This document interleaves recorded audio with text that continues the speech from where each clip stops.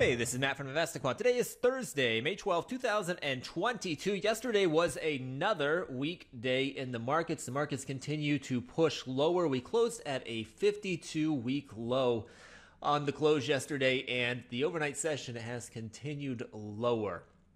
What we're going to do this morning is look at that pattern.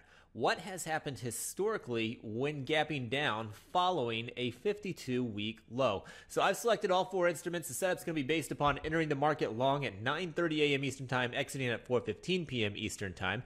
First thing I want to do here is go to the opening filters, click on gap down to add that piece of information, and then I'm going to go to the price patterns library. And on the active today, down near the bottom, I'm going to go to the new lows section. I'm going to find day after 52 week low close. Here it is. I'm going to click on that.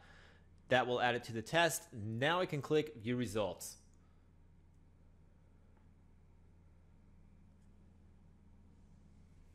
All right, here we go. These are the results based upon entering the market long at 9:30 a.m. Eastern Time, exiting at 4:15 p.m. Eastern Time when the prior session closes at the lowest closing price of the past year. It is followed by an open that is below the prior closing price.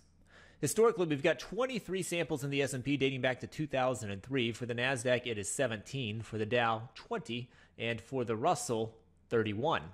Win rates on these are just slightly skewed towards the downside. S&P, uh, the weakest of the group, at 43% of these have closed above the opening print for that session. For the Nasdaq, 47%. Dow 45%, Russell 52%. So uh, win rates just a touch light here. If we look at the average moves, you'll see the average loss is larger than the average win here in the S&P. That's also the case in the Nasdaq, in the Dow, and in the Russell. So all four of these have average losses that are a little bit larger than the average wins. The win rates are just slightly skewed towards the downside. So not the strongest of uh, bear patterns that we've seen, but it is just slightly skewed with bigger losses on the um, on this pattern compared to the wins and win rates coming in a little under 50%.